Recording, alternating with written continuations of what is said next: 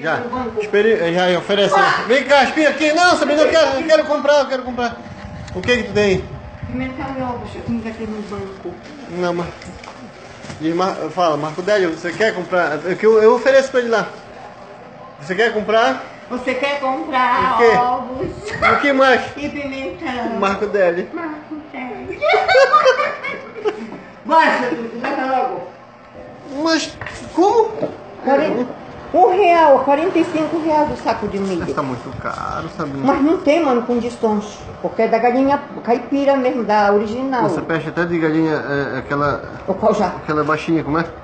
O qual já? É, como é? Esse jeito aqui? É. Não, é porque ela botou o primeiro ovo, Mas- assim, jeitinho. Mas olha lá!